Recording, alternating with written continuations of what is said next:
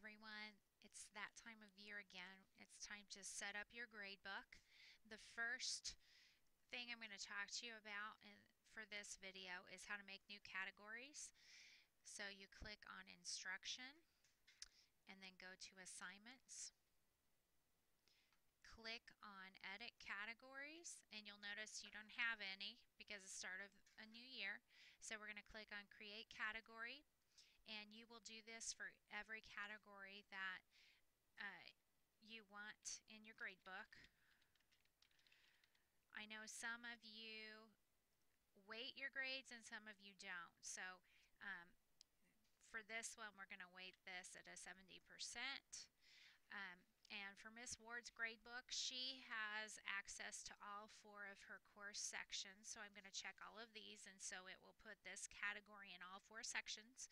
The important thing here is to make sure that you only check quarter because that's where you want to be able to put assignments in. You don't want it to go into progress or semester grade or you're going to have a big mess. Okay. And then click Save the Category and then you're going to go back to back to categories and if you'll notice here it shows you all four sections have daily work as a category. I'm going to create another one and we'll put tests and projects. Your, if you are weighting your categories it needs to equal 100% so I'm going to make this one 30. Once again I'm going to check each section and put it only in the quarter and save that category. Okay, now I'm done for this grade book. There are some of you that may have more than two categories. You may have four or five. So you would continue going in and creating new categories and making sure that if you are weighting the grades that um, they will all total to 100%. Also, um, my grade book is a little bit different because I have two different sections. I have a seventh grade and an eighth grade.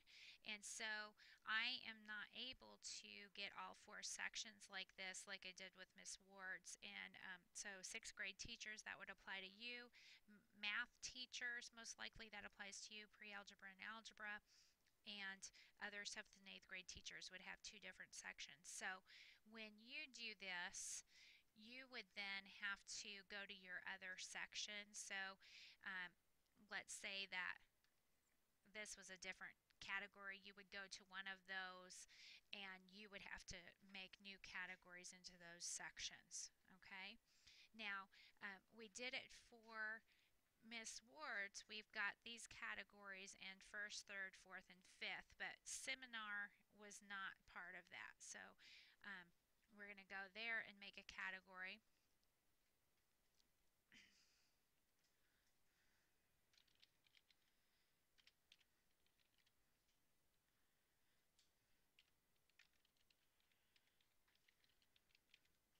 Okay, and this one is going to be 100%. Okay, and once again, just per quarter. And we're going to save this category and then we're done with that one. So that's what you would need to do. For each new section, you're going to want to um, make a new category. Okay, if you have any questions, you can email me or give me a call. Thanks, bye.